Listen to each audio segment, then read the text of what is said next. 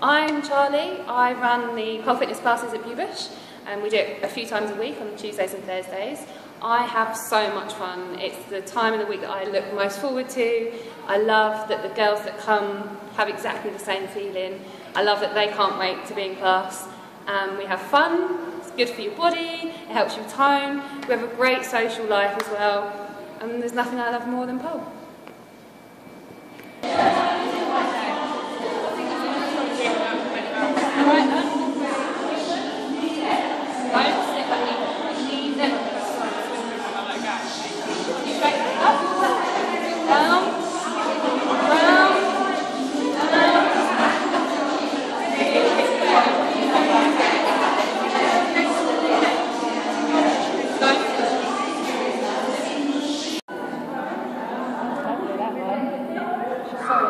saúde.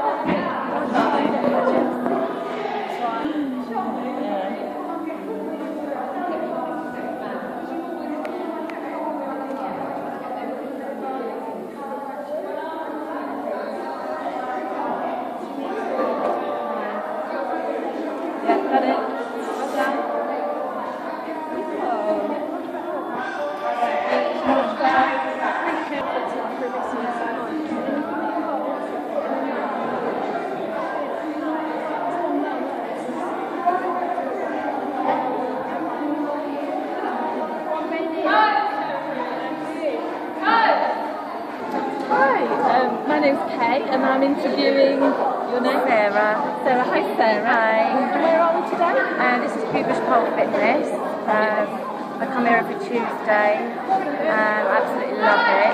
Yeah. Um, when I first started I didn't know if it was ready for me. I'm quite shy. Um, but it's really made me really confident doing this. I love it. And how long have you been coming? Um, a year now. A year. Yeah. And, and do you feel you're progressing? Your, your fitness is progressing? Definitely, yeah, definitely. And what, what do you get specifically out of coming here?